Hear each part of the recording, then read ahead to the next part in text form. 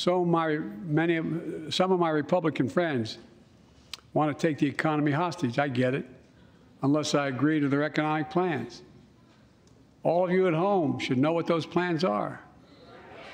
Instead of making the wealthy pay their fair share, some Republicans, some Republicans want Medicare and Social Security to sunset. I'm not saying it's a majority.